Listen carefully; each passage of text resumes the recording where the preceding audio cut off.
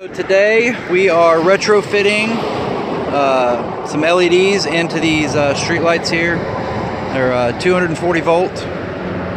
Uh, we are on the side of uh, Interstate 40 in uh, Hazen, Arkansas. It's exit 193 on the on-ramp for the westbound side.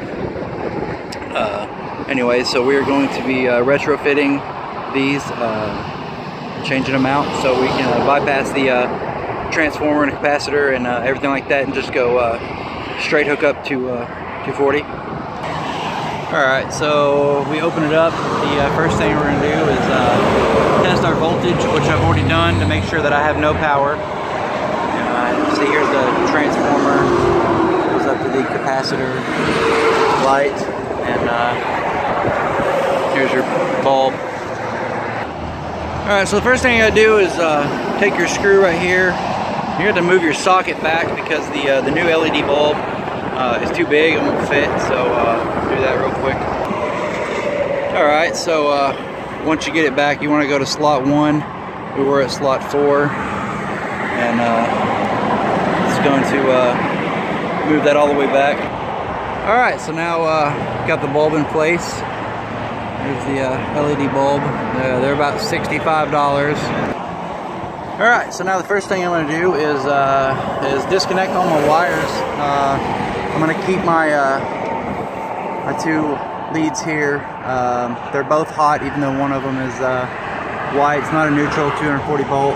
And, but I'm gonna take the wires from the transformer and the capacitor, and I'm gonna cut them all out. Alright, so you're going to leave your black wire and your white wire both connected here. Uh, everything's cleared from the transformers and the capacitors. Uh, we don't have to take those out, it's no big deal.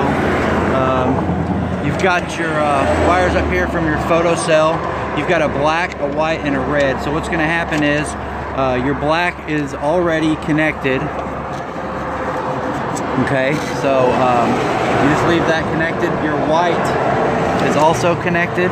And so then you have your red wire. What you're going to do is you're going to take your red wire that was going to the transformer uh, and then it goes from the light socket itself. You're just going to connect those together. You're going to take your other white wire from the light socket and you're going to attach it um, to these right here and uh, that'll be it. All right so I've got uh, everything connected. Here's uh, white wire. Our red wires are uh, wire node together, black wire still the same. I changed the uh, photo eye, uh, put a new one on, and so now uh, let Michael turn the breaker on, and uh, we'll see where we're at. All right, go for it. All right, so he turned on the breaker. What I'll do is I'll take my hand and I'll cover the photo eye, and we will see some magic, hopefully.